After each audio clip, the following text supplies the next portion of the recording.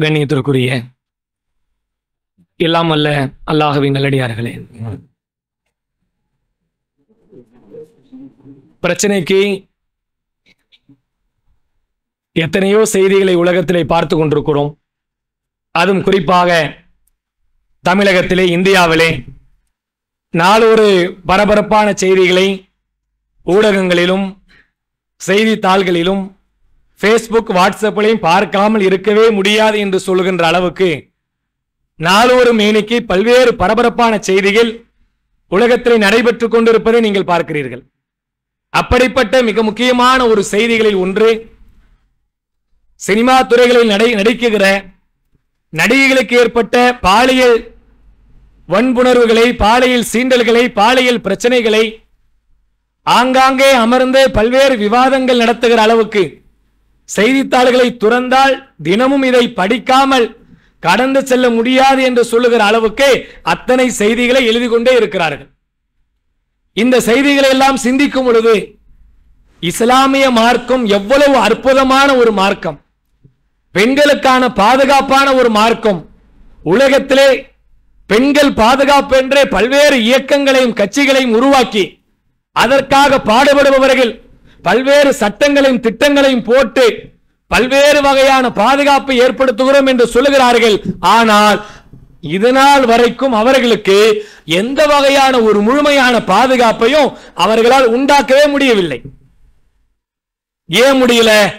பெண்கள் என்றால் அவர்கள் எப்படி பாதுகாக்கப்பட வேண்டுமோ அப்படி பாதுகாக்கணும். எப்படி மறைக்கப்பட வேண்டுமோ அப்படி மறைக்கப்படும். எப்படி நடத்தப்பட வேண்டுமோ அப்படி நடத்தப்படும். இனி உலகத்தில் நடக்குதா? சினிமா துறை என்று சொன்னால் அந்த துறையிலே உள்ளே நுழைய வேண்டும் என்றால் தன்னுடைய மானத்தையும் மரியாதையும் அங்கே அடமானம் வைக்க வேண்டுமோ என்று கேள்வி கேட்கிற அளவுக்கு பல்வேறு சீண்டல்கள் நடைபெற்றதாக சினிமா துறையிலே நடித்தவர்கள் கொடுக்கிற பேட்டிகளை படிக்கும் பொழுது காதுகள் கூசுகிற உள்ளங்கள் எல்லாம் சிலிர்க்கிற நம்முடைய சிந்தனை எல்லாம் இவ்வளவு மோசமாக இருக்கிறார்களே என்று அவர்கள் மீது கடும் கோபத்தை உண்டாக்குகிற அளவுக்கு இருக்கிறது. இதற்கு இஸ்லாம் சொல்லுகிற தீர்வு என்ன? பெண்கள் என்றால் அவர்கள் தங்களுடைய அங்கங்களை மறைத்து வாழ வேண்டும். இப்படி சினிமா துறையில வாழ்வதுதான் எங்களுக்கு ஒரு பெரிய ஃப்ரீடம் நினைக்கிறாங்க? சினிமா துறையில நடிப்பது பெண்ணுக்கு வழங்கப்படுகிற பெரிய பொக்கிஷம். அது ஒரே ஏதோ பெண்களுக்கு வழங்கப்படுகிற ஒரு பெரிய சுதந்திரம். என்ன நினைச்சு தானே போனீங்க? எந்த பெண்களுக்கு பாதுகாப்பு இருக்கிறதா?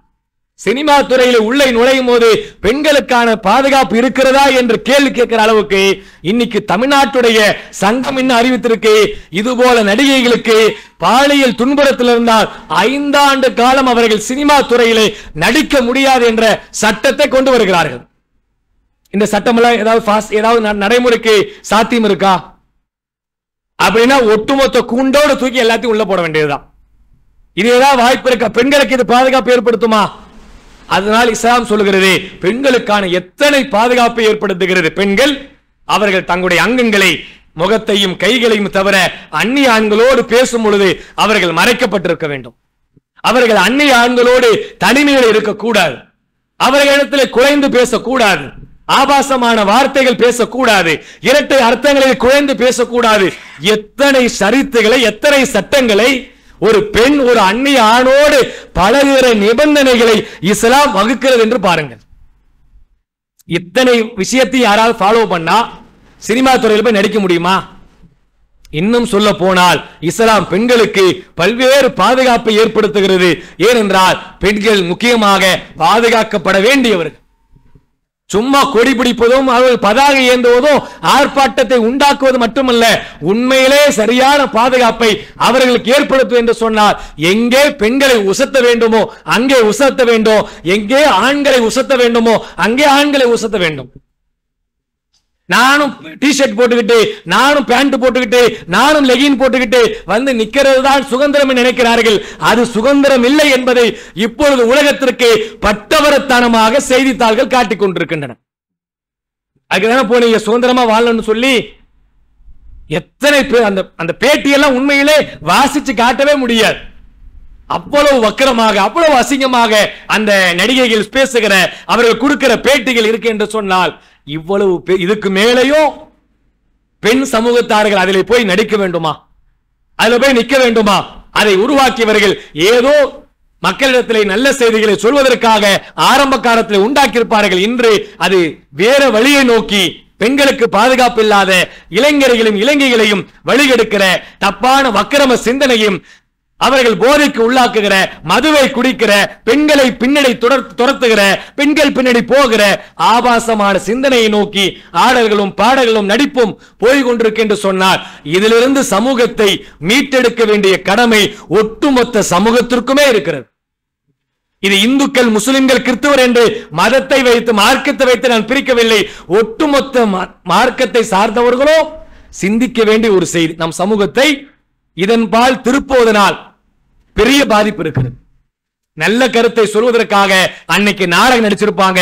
இன்னைக்கு அது தப்பான கருத்துக்களை உண்டாக்கி படம் என்பது மக்களுக்கு ஒரு போதை சிந்தனை வக்கிரம சிந்தனையை கெட்ட செயல்பாட்டை அவர்கள் தம்மடிக்கக்கூடிய தண்ணி அடிக்கக்கூடிய தவறுகளை பேசக்கூடிய எல்லா இடங்களுக்குடைய அடிப்படையாக இந்த சினிமா துறை உருவாகி கொண்டிருக்கிறது.